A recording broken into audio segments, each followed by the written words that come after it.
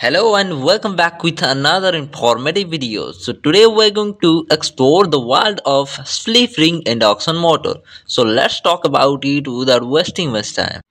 So the slip ring induction motor works on the principle of electromagnetic induction and the construction of a slip ring induction motor is very similar to that of a squirrel cage induction motor except for the addition of a slip ring and a brush okay so the slip ring and brush assembly are used to supply the current to the rotor of the slip ring induction motor. So the slip ring induction motors have several characteristics that makes them useful in a wide range of applications because it has a high starting torque and a very speed control and highly efficient in nature.